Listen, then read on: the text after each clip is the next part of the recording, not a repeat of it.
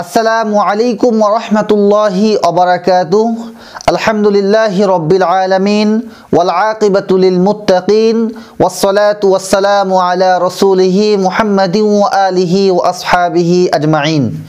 প্রিয় দিনী ভাই, বোন ও বন্ধুরা, আমি হাফেজ কারি মোহাম্মদ মুস্তাফিজুর রহমান মুয়াজ বলছি।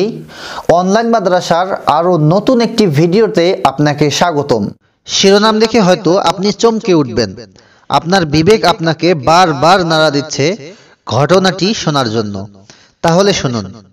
একজনের একটি প্রেস ছিল। লোকেরা তার কাছে বিভিন্ন কিতাবাদি ছাপাতো। কিন্তু মালিকের একটি বদভ্যাস ছিল। সে কিতাবাদি ঘেটে ঘেটে বিভিন্ন জায়গাতে নিজের মন মতো পরিবর্তন করত। যা ছিল খুবই বিরক্তিকর। লোকেরা তাকে এই বদভ্যাস থেকে অনেকবার ফেরানোর চেষ্টা করেছিল। কিন্তু লোকটা ওয়াদা করেও তা ভঙ্গ করত। এভাবে অনেক দিন কেটে গেল। একবার এক লোক তার কাছে কোরআন শরীফ ছাপানোর জন্য আসলো। লোকটি মালিকের বদভ্যাস সম্পর্কে আগে থেকে জানত। তাই সে মালিককে এই বলে হুঁশিয়ার করে দিল, দেখুন, ইহা কোরআন শরীফ, আল্লাহর কালাম। তাতে মন গড়া পরিবর্তন করার কোনো অনুমতি নাই। করলে কঠিন গুণাগার হবেন। আপনি তাতে কোনো পরিবর্তন করবেন না। মালিকও ওয়াদা করল, আমি তাতে কোনো পরিবর্তন করব না। মালিক লোকটিকে ডেলিভারির তারিখ জানিয়ে দিল। যথাসময়ে লোকটি যখন কোরআন শরীফ আনতে আসলো, তখন তাকে জিজ্ঞাসা করল, আপনি কি তাতে কোনো পরিবর্তন করেছেন? এবার মালিক বিনয়ের সাথে বলল, দেখুন ভাই, আমি পুরা কোরআন পড়েছি। আমার পরিবর্তন করার কোনো ইচ্ছা ছিল না। কিন্তু পড়তে পড়তে হঠাৎ এক জায়গায় দেখি শয়তানের নাম। আরেক জায়গায় দেখি ফেরাউনের নাম।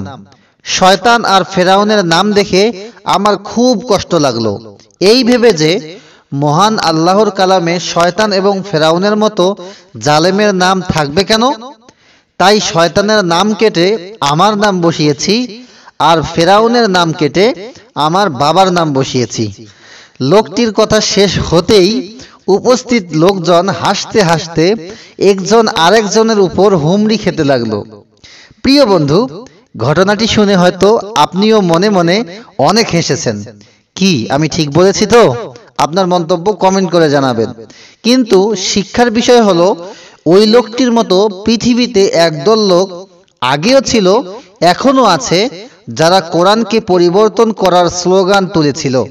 কিন্তু কেউ সফল হতে পারেনি। আর পারবেই বা কি করে? যেহেতু কোরআন আল্লাহর নাজিল করেছেন এবং তিনি তা হেফাজত করার দায়িত্ব নিয়েছেন, তাই তো দেখা যায় পৃথিবীতে বিভিন্ন সময় কোরআনের উপর বিভিন্ন আক্রমণ এসেছে। কিন্তু কোরআনকে ধ্বংস করা তো দূরের কথা, কোরআনের একটা জের জবরও পরিবর্তন করতে পারেনি। কেয়ামত পর্যন্ত পারবেও না, ইনশাআল্লাহ। অবশেষে একটি আয়াতের দ্বারা শেষ করছি। আল্লাহ তালা পবিত্র কোরআনের মধ্যে বলেছেন, বিসমিল্লাহির রহমানির রহিম, ইন্না নাহনু নাজ্জালনা যিকরা ওয়া ইন্না লাহু লাহাফিজুন অর্থাৎ, নিশ্চয়ই কোরআন আমি আল্লাহ নাজিল করেছি এবং আমি তার হেফাজতকারী। বন্ধুরা গল্পটি আপনাদের কাছে কেমন লাগল তা অবশ্যই আমাকে কমেন্ট করে জানাবেন।